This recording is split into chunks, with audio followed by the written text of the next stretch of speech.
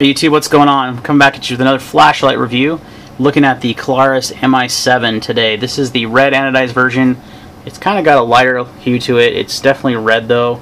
Um, it's just a different shade of red. Almost has a light red, slightly pink hue to it. I don't really see the pink, but um, believe me, in, in person, I noticed on the camera it looks a little lighter than it actually is in person. It definitely looks red.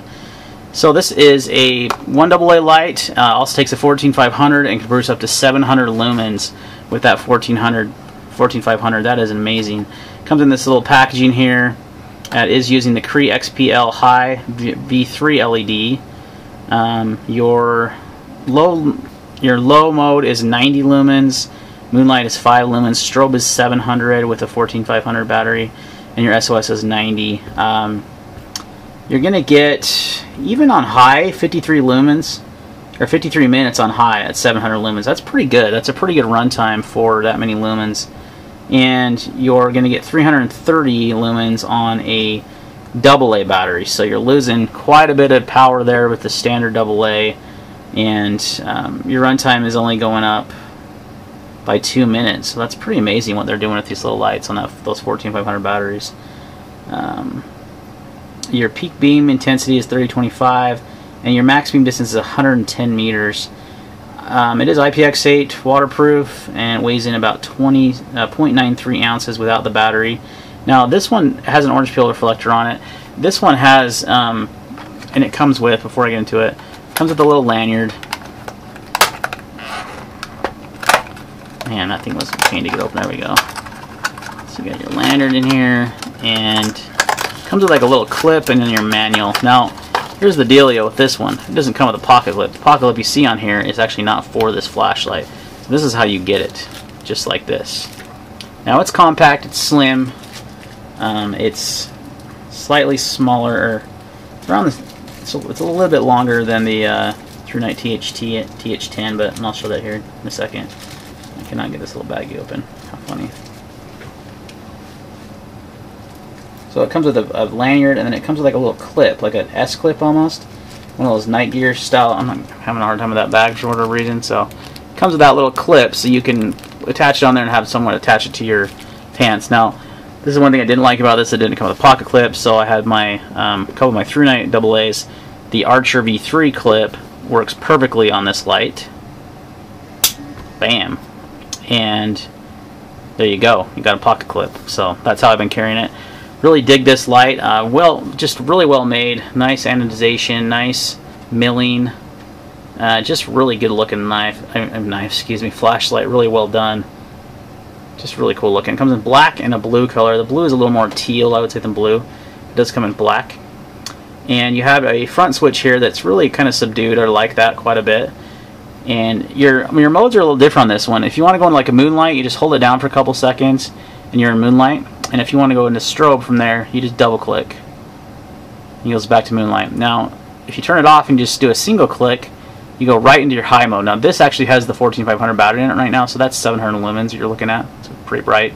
And then you have a medium mode. So there's really not a low. It's just, I guess the low is considered moonlight. Um, maybe this is considered low, so maybe no medium. Um, and then you have your moonlight, and then your SO or your strobe. So you have just those basic modes, but for me, it's I love the fact that you can, if I need to go into strobe real quick, like you know, if I'm EDC in this light and I'm using it with my uh, firearm or using it for self-defense or something, I can quickly go into strobe by just clicking that twice, disorient someone. If I want to use it, you know, just in really low light and I don't want to give it my night vision or I want to do some reading, like of a map or something, this is the mode I would want it in. And then if I want to go straight to high because I want to you know see something and eliminate something really quickly, it's just a simple press of the button. You're in the highest mode. So I, I really like the interface of this light. Um, some people may not. I, I think it's pretty good. Um, here's a size comparison with the ThruNite TH10 I mentioned. Actually, it's a slightly bit shorter than that one.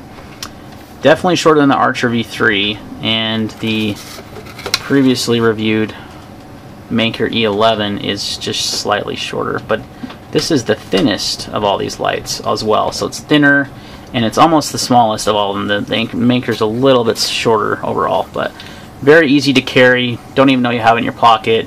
Um, and this one actually has some pretty good throw. We're going to go outside, get some illumination shots or you know outside shots, kind of go over those modes. I kind of I like the throw in this one a little bit more than the Manker. Um, it the Manker's more floody. This has a little bit more throw to it. So stay tuned. All right, so here's the Klarus with a standard uh, AA battery, nickel metal hydride. It's about 333 lumens. That's the shed out there. This is your high mode. This is your low mode. You see though, uh, we'll put in the 14500 so you can see the throw on this one. So let me switch that out real quick.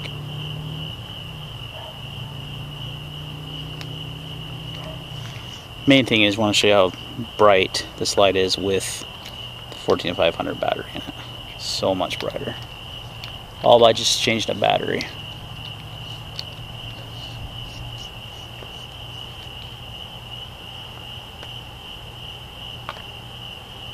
Okay. There is the 14500. So it's considerably brighter. It's lighting up that whole shed now. See if we can get a good idea of the throw on this thing. Where's that tree at?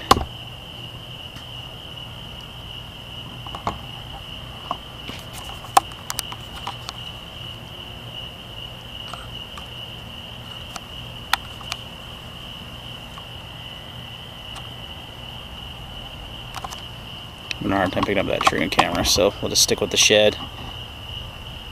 Pretty decent throw. There's a good amount of flood, but pretty decent throw on this one as well. There's my kid's toy structure. So that's 700 lumens. So between this and the and the Manker I reviewed earlier, um, they're very very similar. You're not going to tell a whole lot of difference between the two. Strobe warning.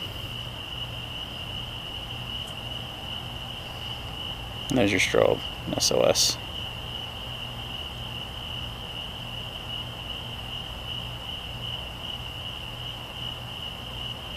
I said SOS, just meant strobe. Wait, changes. Look at that. That's the strobe mode and it actually changes. Didn't know that until now. Pretty crazy. So there you go. 700 lumens out of that small little light. Pretty impressive. Just for fun, we'll do a comparison. This is the this first light up is the Manker E11. This next one is the Klarus. Next to each other, you really can't tell a difference.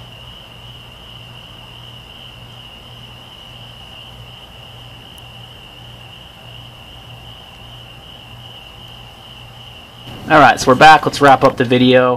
Uh, overall, really digging this Klarus MI7. It's been a great little light. It has really good runtime on that high lumen. 53 minutes on 700 lumens is quite a bit. Um, it's good size for EDC. It just kind of disappears in your pocket. The only negative I would say is it doesn't come with a pocket clip, but that was an easy fix. And you may find if you have other AA lights around that their pocket clips would probably work on this light. I just don't understand why they wouldn't put it on there. I don't know why they thought that little S spinner clip was a solution. It's not for most people, but uh, works out well with the ThruNite clip on there. And this has become my new little EDC flashlight. I really dig it. I might pick one up in black as well. Um, it's just a great little light, tons of light. If you put a throw it to 14500 in there, you got more lumens than you're probably going to need, and um, and really nice interface. And this this button does not come on um, easily. You know, you can see her her rubbing it, the light's not coming on. You really have to give it a press for it to come on. So I like that forward that forward uh, switch as well. So no negatives here. It didn't get too hot either. Even on 700 lumens, the it, it doesn't warm up too bad, which is good. Um, so it dissipates the heat pretty well. So overall, very impressed. Price on this one, I'll put a link in the description. I believe they're about 40 to $50. Um, I'll put a link in the description though to make sure of the price, but I think I paid around $49.99 on Amazon. Um, and again, it comes in three different colors, and I, mine came with like a little USB light as well. I, uh, I think it was. Let me just check real quick. Pretty sure it was 50 bucks. 40 or 50 bucks. But overall, good value. Um, a lot of lumens. I mean, it's that Manker puts out 100 more lumens, but you're not going to notice uh, much difference between the two. And uh, I like the I like this one better. I think it's machined a little better. It, it, just looks nicer and it's a little slimmer in the pocket, which I like. So that's this is why this has become my new uh, EDC light. So, okay, I found the price here on Amazon. I'll put a link in the description to my store. And didn't pull up. Come on now.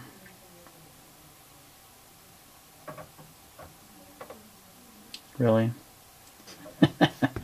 course, when I'm trying to look it up on camera, that's what happens. So, anyway, I'll put it in the description. But it's around 40 bucks, 40 to 50 dollars, no more than that. And I think it's really worth it. It's it's a good price. And Klarus is a good brand. Um, I've had a few of their flashlights in the past, and I haven't had one for a while. But this is really well made and uh, just a great little EDC light. So, thanks for watching. We'll see you on the next video.